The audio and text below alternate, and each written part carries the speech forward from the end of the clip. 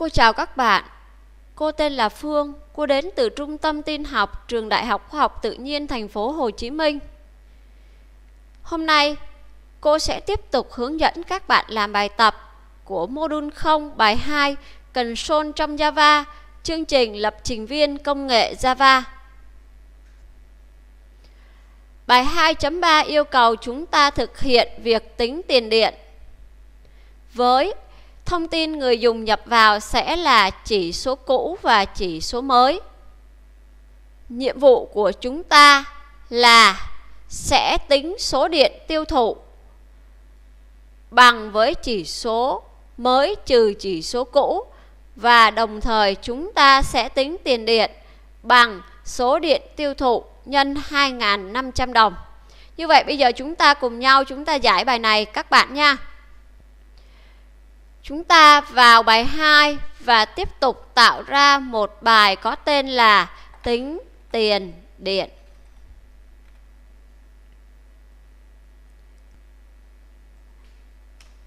Với bài này, các bạn tùy chọn Buffer Reader hoặc Scanner.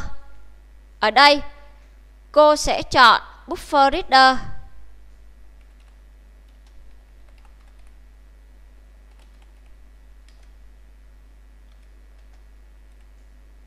Cô khai báo một biến input kiểu Buffer Reader.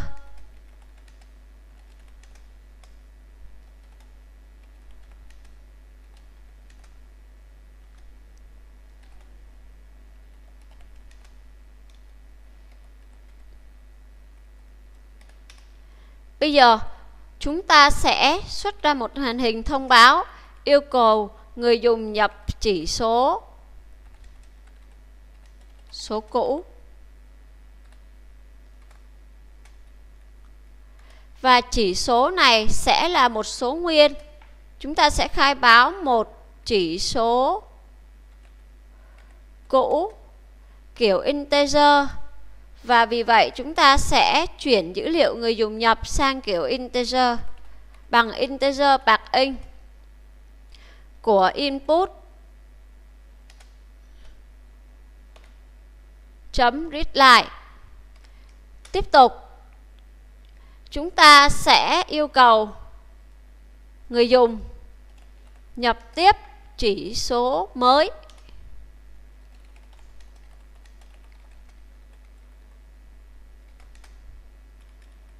Tương tự, chúng ta cũng khai báo một biến chỉ số mới kiểu integer và dùng integer bạc in để chuyển đổi kiểu dữ liệu.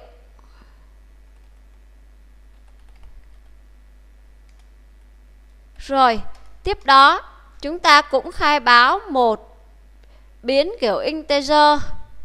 Biến này sẽ có tên là số điện tiêu thụ thì bằng chỉ số mới chúng ta trừ đi chỉ số cũ rồi, tiếp theo chúng ta khai báo một biến có kiểu double. Là tiền điện sẽ bằng số điện tiêu thụ. Chúng ta nhân 2.500 đồng. Và khi chúng ta có số điện tiêu thụ, có tiền điện rồi thì chúng ta sẽ xuất kết quả này ra màn hình để người dùng xem. Chúng ta có số điện tiêu thụ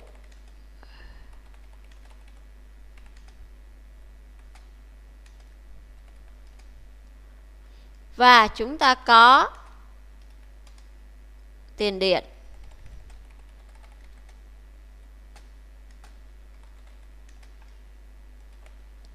Rồi, thế thì bây giờ chúng ta sẽ chạy bài này ha các bạn ha.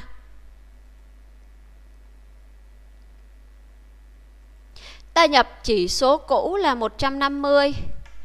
Ta nhập chỉ số mới là 400.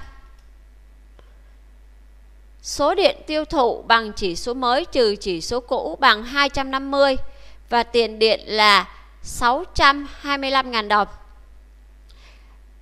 Bài này tương đối là đơn giản, do đó cô biết là các bạn hoàn toàn có thể dễ dàng giải được.